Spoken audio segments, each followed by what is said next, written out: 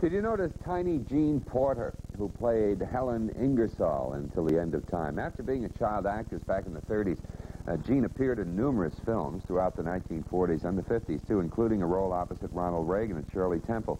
That was in That Hagen Girl, of course. But it was a work in this movie, the one that we just saw, that would have a lasting effect, really, upon her life. Director Edward Dmytryk was so impressed with Jean, who was only five feet tall, that their association on this film spawned a romance and their eventual marriage. Now, in 1948, Jean stood by Edward Dmytryk during the famous or infamous McCarthy era when he was fined and imprisoned by the House Un-American Activities Committee.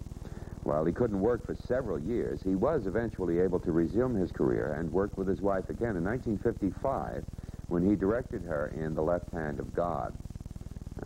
That was Jean Porter's last film, incidentally. We'll be right back, but first let's look at this. April is National Cable Month, and you're invited to discover the difference on American movie classics. From a festival featuring movie masquerades to a spectacular Academy Awards tribute, it's a month of great Hollywood entertainment. First, American Movie Classics presents Movie Masquerades, a festival of films where things are not always as they seem. Oh, I don't know who anybody is. Cary Grant, Audrey Hepburn, Walter Matthau, and James Coburn are the players in a dangerous game of charade. Then, Miriam Hopkins is a poor little rich girl masquerading for love in Wise Girl, co-starring Ray Milland. Next, Ava Gardner conceals a secret, but Robert Mitchum knows the truth of My Forbidden Past. Hmm? And Movie Masquerades continues when Marilyn Monroe proves to Monty Woolley that you're as young as you feel. Very pretty. Now what? Also in April, American Movie Classics salutes National Cable Month with a tribute to the Academy Awards.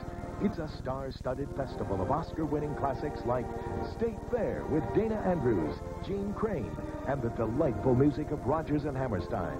Alfred Hitchcock's Suspicion with Cary Grant and Oscar winner Joan Fontaine. The Gay Divorcee, featuring the toe-tapping magic of Astaire and Rogers.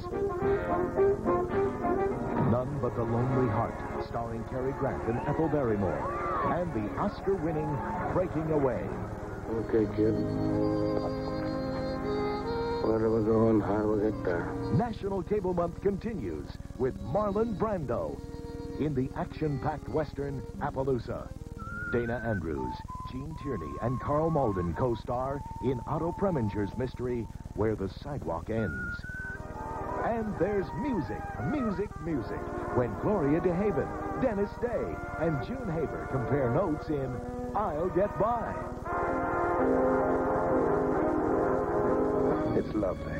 No fooling around. In April, we're celebrating National Cable Month with a big splash. I had a premonition. From movie masquerades to an Oscar-winning tribute, discover the difference. April on American Movie Classics.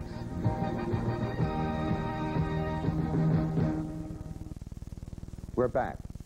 If somebody brings up the term costume designer to most people in the industry and to many people outside of the industry, the names Edith Head, uh, Helen Rose, and Jean-Louis immediately come to mind. Movies are so popular that they have become a very influential medium and are often responsible for how we perceive the past and the present and the future, regardless of what we've read in the history books. And this makes the costume designer, as a result, one of the most important people in the back lots of every studio because they, they can really make or break a movie. No matter how much research or detail and historical accuracy is put into a film, the costume designer will oftentimes be unconsciously influenced by the fashion designs of the day. A good example of what I mean uh, would be if we were to look at the way Cleopatra has been portrayed on film. While her story has been told many, many times, the three probably most famous Cleopatras were Theda Bara, that was back in 1917, uh, Claudette Colbert, that was in 1934, and of course the famous Elizabeth Taylor version of 1963. Although all three films uh, boasted uh, historical accuracy, when they're examined closely, they all really did reflect contemporary fashions. Uh, here's an idea. There's the Theda Bara one in 1917. And next we'll go to uh, Claudette Colbert I believe. We'll take a look at her. That was 1934.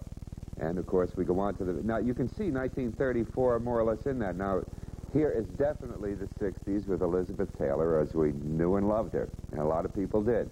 As we can see in these pictures, the costume details, such as the material and jewelry, the hairstyles, and the makeup, were not only contemporary in their day, but also were suited to fit each actress's particular on-screen image. So much for historical accuracy. I guess that's the way it goes. If you'd like to learn more about the history and the importance of the Hollywood costume designer, there's a fascinating exposition that's been touring the United States called Costume Design on Film. It was out in the Los Angeles area. It's left there, but uh, if you're on the East Coast, you'll be able to catch it at the Boston Museum of Fine Arts, and it will be there from June 1st until August 14th. If you get a chance to see it, I'm sure you will not be disappointed, so look for it. We'll be right back, but first here's something interesting from our film archives.